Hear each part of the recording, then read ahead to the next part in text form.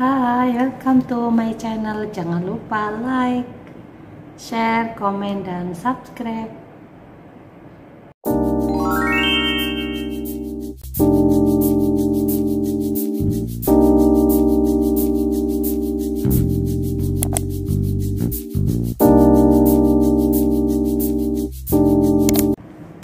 Assalamualaikum warahmatullahi wabarakatuh. Pada kesempatan kali ini saya akan menjelaskan materi pertama atau pertemuan kedua pada mata kuliah ekonomi mikro syariah.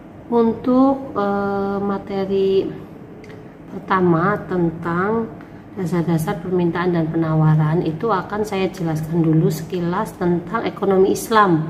Jadi bagaimana atau apakah pengertian dan prinsip ekonomi Islam serta rancang bangun ekonomi Islam. Sekilas tentang ekonomi Islam sebelum masuk ke materi pada ekonomi mikro syariah.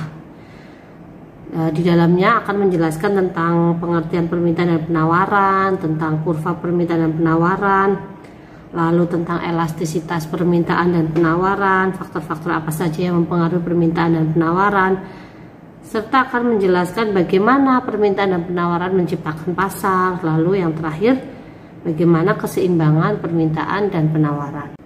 Untuk pembahasan yang pertama adalah tentang bagaimana pengertian ekonomi Islam ya. Ekonomi Islam itu apa begitu ya? Ini ada beberapa pengertian, ada beberapa pengertian menurut para ahli. Definisi ekonomi Islam nanti bisa dibaca di PPT ya. Itu ada menurut Metwali, menurut Abdul Manan dan menurut Monzerkaf. Ini ekonomi muslim ya, ekonomi muslim dunia.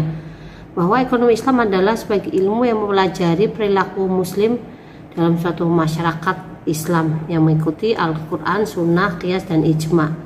Jadi memang ada perilaku uh, berekonominya seorang Muslim yang sesuai dengan syariah itu ya itu yang namanya ekonomi Islam. Ekonomi Islam adalah sumber dari agama. Ekonomi Islam adalah bagian dari ilmu yang bersifat interdisipliner. Kajian ekonomi Islam tidak dapat berdiri sendiri, tetapi perlu penugasan yang baik dan mendalam terhadap ilmu-ilmu syariah dan ilmu pendukungnya. Jadi Ekonomi Islam itu ya bagian dari ilmu-ilmu ekonomi yang memuat di dalamnya ada unsur-unsur syariahnya. Lalu setelah pengertian nanti bisa dibaca lagi PPT-nya ya tentang rancang bangun ekonomi Islam. Jadi ekonomi Islam itu dibangun dari apa saja? Ada akidah atau tauhid, ada adil atau adalah ya, adalah atau adil, terus ada nubuah dan ada economic freedom ada hilafah, ada ma'at atau return, ada multi type ownership dan ada social justice atau social welfare. Jadi bagian-bagian dari bagian-bagian ini akan saling mendukung, akan saling mendukung. Akidah atau tauhid itu harus dimiliki seorang ekonom muslim, eh seorang muslim ya dalam berekonomi. Lalu setelah memiliki akidah, eh, mempercayai adanya Tuhan, kemudian dia akan berbuat adil dalam berekonominya itu dia akan berbuat adil. Dia juga akan bersifat nubuah atau menerapkan konsep-konsep uh, yang dilakukan oleh nabi atau menerapkan uh, sifat-sifat wajib eh, sifat-sifat baik yang telah dilaksanakan oleh nabi. Ada uh, empat sifat wajib bagi rasul itu ya nabi dan rasul yang uh, fatona sidik amanah tabligh gitu selanjutnya ada economic freedom di mana dalam melaksanakan ekonominya itu ada kebebasan namun kebebasannya itu harus juga sesuai dengan prinsip-prinsip syariah. Kemudian ada hilafah hilafah juga bagaimana seorang muslim dalam berekonomi itu juga menaati uh, aturan pemerintah setempat atau uh, patuh terhadap pemerintahan. Pemerintahan yang ada di Indonesia ya kalau di Indonesia berarti yang ada di Indonesia Ya, tentunya sesuai dengan prinsip-prinsip syariah ya bagaimana negara memegang peran penting dalam mengatur segenap aktivitas dalam perekonomiannya. Itulah yang dimaksud ilafah dalam rancang bangun ekonomi Islam ini. Lalu ada juga multi type ownership yaitu jenis-jenis kepemilikan. Jadi dalam kepemilikan dalam ekonomi Islam juga diatur bagaimana seseorang itu harus jangan bersifat egois kemudian nanti akan menimbun. Hal-hal buruk lainnya itu harus mengingat orang lain juga. Harus memiliki jiwa yang sosialis atau jiwa sosial yang tinggi. Ada kebersamaan itu dari multi type multi type ownership ini. Kemudian yang selanjutnya itu juga memiliki prinsip social justice atau social welfare. Dalam Islam walaupun harta yang kita miliki itu berasal dari usaha kita sendiri tetapi harus juga ada orang lain ya. Jadi meskipun ini kan kerja kerja saya sendiri uang uang saya sendiri tapi harus bisa uh, berempati kepada orang lain yang tidak punya itu untuk berbagi ada hak orang lainnya itu yang harus disedekahkan itu. Nah di akhir itu akan ada maat dan return. Jadi di akhir setelah sudah mengetahui semua bagaimana ekonomi Islam terbentuk, bagaimana rancang bangunnya, diharapkan para pelaku atau para ekonom muslim eh para orang eh, para pelaku ekonomi atau kita yang menjalankan aktivitas ekonomi itu di akhir akan mendapat maat atau return. Jadi akan ada hasil. Akan ada hasil dari apa yang telah kita lakukan dalam melakukan aktivitas perekonomian tersebut. Demikian tadi sekilas tentang ekonomi Islam. Kita akan maju untuk uh, permintaan dan penawarannya untuk materi permintaan dan penawaran yang diawali dengan definisi. Kurva permintaan atau demand curve menyatakan beberapa banyak kuantitas barang atau produk yang bersedia dibeli oleh konsumen dikarenakan perubahan harga per unit. Jadi kuantitas barang dipengaruhi dipengaruhi oleh tingkat harga yang ditetapkan. Ya, itu untuk permintaan. Jadi kurva permintaan itu jika harga barang naik, maka kurva permintaan akan bergerak bergerak turun. Jika harga naik, maka permintaan akan turun. Ya karena mahal, gimana mau beli gitu kan ya, mudahnya begitu. Jika harga naik, maka konsumsi turun. Jika harga turun, maka konsumen akan menaikkan konsumsinya. Kebalikannya ya. Jadi, jika harganya mahal, permintaannya turun, jika harganya murah, permintaannya akan naik. Selanjutnya adalah tentang penawaran. Penawaran itu atau supply curve penawaran atau uh, supply ya menunjukkan jumlah barang yang bersedia dijual oleh oleh para produsen pada harga yang akan diterima di pasar sambil mempertahankan agar setiap faktor yang mempengaruhi jumlah penawaran itu tetap. Kurva penawaran itu bunyinya begini semakin tinggi harga maka semakin banyak pula barang yang ditawarkan. Semakin tinggi harganya maka penawarannya juga akan semakin naik. Orang kan kalau mau memproduksi barang mumpung lagi mahal produksi sebanyak-banyaknya. Mumpung lagi harganya tinggi. Tapi kalau harganya rendah ngapain buat produksi? Nanti nggak ada yang beli. Seperti itu ya kebalikannya dengan yang permintaan tadi. Lalu untuk elastisitas permintaan dan penawaran elastisitas yaitu untuk mengukur kepekaan dari suatu variabel. Jadi ini elastisitas atau tidak? Ada naik turunnya? Ada uh, ada perubahan atau tidak? Nah itu ada elastisitas permintaan dan elastisitas penawaran.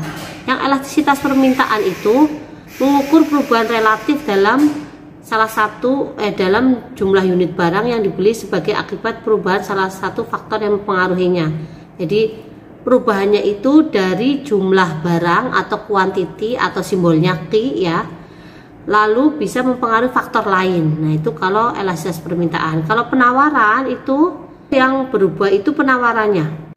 Yang berubah adalah jumlah barang yang ditawarkan atau yang akan diproduksi e, berkaitan juga dengan harganya. Lalu macam-macam elastisitas permintaan itu ada elastisitas harga, elastisitas silang, dan elastisitas pendapatan.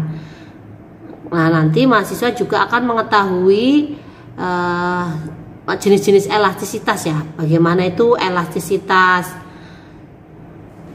uh, elastisitasnya itu nilainya berapa, lalu inelastis itu jika bagaimana, lalu ada elastisitas sempurna dan sebagainya. Kalau elastisitas penawaran itu persentase perubahan jumlah yang ditawarkan yang disebabkan oleh perubahan harga. Jadi kalau penawaran kan itu uh, jadi gini gampangnya. Kalau permintaan itu pembeli atau konsumen atau konsumsi, kalau penawaran itu penjual atau produsen atau produksi. Ingat-ingat itu kata kuncinya. Nah, kalau elastisitas penawaran itu berarti apa yang berubah?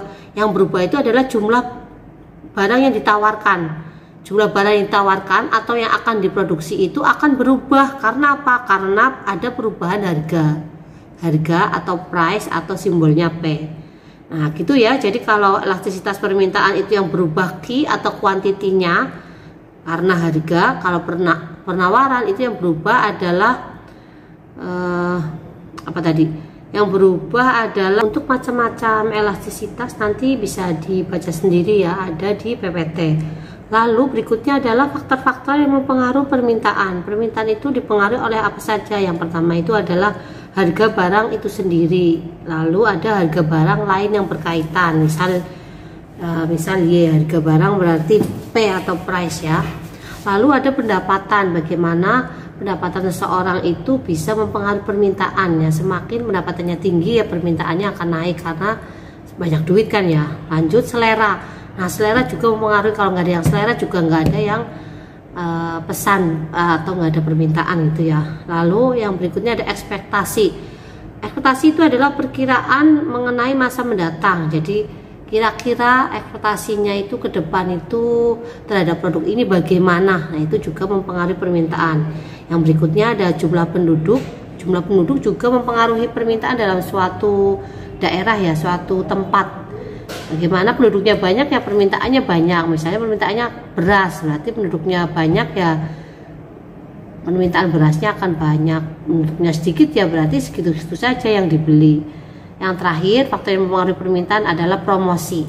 Bagaimana promosi digencarkan? Semakin banyak promosi, semakin banyak diskon ya, flash sale itu akan semakin menarik orang untuk membeli. Jadi permintaannya akan naik. Berikutnya adalah faktor-faktor yang mempengaruhi penawaran. Bagaimana penawaran itu terbentuk gitu ya. Yang mempengaruhi itu apa saja harga barang itu sendiri. Berarti misalnya harga barang X, lalu harga barang yang berkaitan, misal harga Y.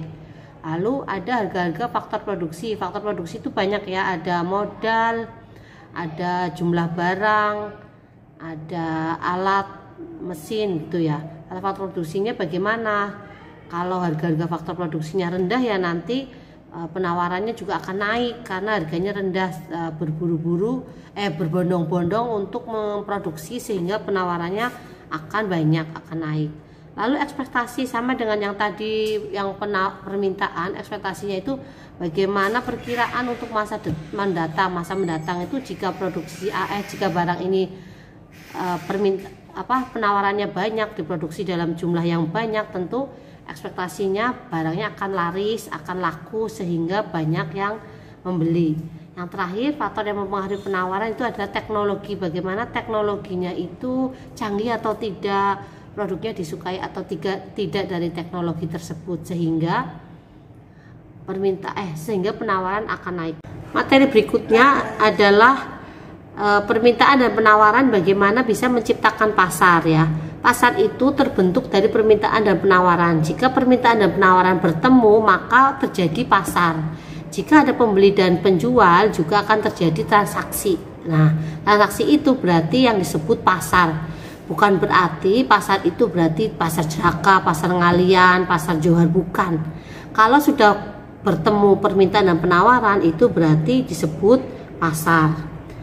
Ini saya jelaskan satu persatu untuk e, perumpamaan ya, bagaimana harganya naik itu akan bagaimana, harganya turun itu akan bagaimana. Jika harga naik, maka konsumen akan mengurangi jumlah barang yang diminta. Betul ya? Naik ya, nggak usah belilah, nggak usah beli dulu nanti aja kalau turun biasanya begitu. Uh, dialihkan yang lainnya dulu dulu misalnya harga telur sedang naik ya sudah lauknya jangan telur dulu lah lauknya tempe dulu misalnya begitu Lalu yang penawaran atau yang produsen itu akan kebalikannya. Harga naik dia akan berbondong-bondong menciptakan, tapi tidak menciptakan telur ya, kan telur dari ayam dari misalnya produksi roti, permintaannya eh penawarannya naik, harganya naik ya. Produsen akan berbondong-bondong produksi roti lebih banyak mumpung harganya lagi tinggi. Lalu karena adanya kedua persepsi yang berbeda tersebut, maka perlu adanya keseimbangan pasar. Jadi jika permintaan naik, penawarannya turun atau sebaliknya itu kan tidak akan bertemu. Jadi harus ada e, perlu keseimbangan pasar agar permintaan dan penawarannya itu bertemu atau seimbang. Pasar adalah alat interaksi untuk membeli dan menjual barang dan atau jasa ya bisa barang bisa jasa.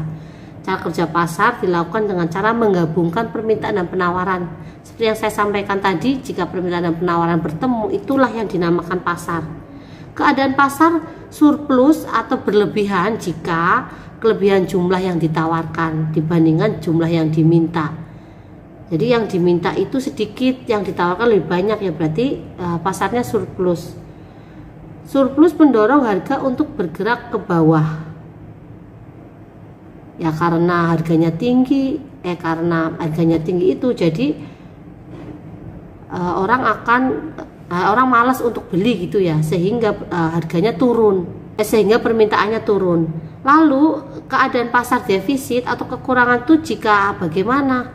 Kelebihan jumlah yang diminta dibandingkan jumlah yang ditawarkan. Jadi permintaannya itu lebih besar dari penawarannya. Pasarnya itu defisit karena barangnya tidak ada, stoknya tidak ada, tapi yang mau barang itu banyak. Nah, dari hal tersebut kekurangan akan mendorong harga naik ke atas. Pasti akan harga melambung karena barangnya tidak ada, padahal yang mau banyak, gitu ya. Uh, pemahamannya begitu secara mudahnya. Yang terakhir, keadaan pasar dalam keadaan equilibrium atau keseimbangan atau seimbang. Jika keinginan pembeli dan penjual telah seimbang sehingga tidak ada tekanan atas perubahan harga dan jumlah barang jika harganya sama jumlah barangnya sama sesuai dengan permintaan penawaran nanti akan bertemu. Jadi uh, kurva D atau demand dengan kurva S atau supply itu bertemu di satu titik tengah-tengah itu yang namanya pasar yang namanya equilibrium atau keseimbangan. E nya itu untuk pembahasan yang terakhir yaitu tentang keseimbangan penawaran dan permintaan perspektif Islam ini ada menurut Al Ghazali bagaimana Al Ghazali, Al Ghazali menanggapi terhadap permintaan dan penawaran yang kemudian akan terjadi keseimbangan. Menurut Al Ghazali jika jumlah barang yang ditawarkan penjual lebih besar dari jumlah pembeli yang ada maka penjual akan menurunkan harga untuk mendapatkan tambahan pembeli. Memang harganya sengaja diturunkan biar dapat uh, pembeli yang banyak itu ya. Sehingga setelah harga diturunkan maka jumlah pembeli menjadi naik maka terjadilah keseimbangan. Hampir sama dengan tadi yang menciptakan keadaan pasar yang secara konvensional. Jadi yang ini kan yang berpendapat adalah ekonom muslim ya Al-Ghazali. Misal pada tingkat harga P1 misalnya ada harga ya harga pertama atau P1 jumlah barang yang ditawarkan oleh penjual adalah sebesar QS atau quantity supply ya eh, barang yang ditawarkan satu. Sementara jumlah barang yang diminta adalah hanya sebesar KD atau quantity demand 1. Dengan demikian, sang petani tidak mendapatkan cukup pembeli. Untuk mendapatkan tambahan pembeli, maka sang petani menurunkan harga jual produknya dari P1 ke P aksen. Sehingga jumlah pembelinya naik dari KD 1 menjadi Ki aksen. Jadi memang harus ada yang ditambahi atau bisa jadi sebaliknya harus ada yang dikurangi sehingga akan terjadi keseimbangan. Begitu untuk yang terakhir tentang keseimbangan penawaran dan permintaan. Oh, like it, like it. I do it like it. Rock with me. Oh, like it, it, like it. Oh, like it, rock it, like it.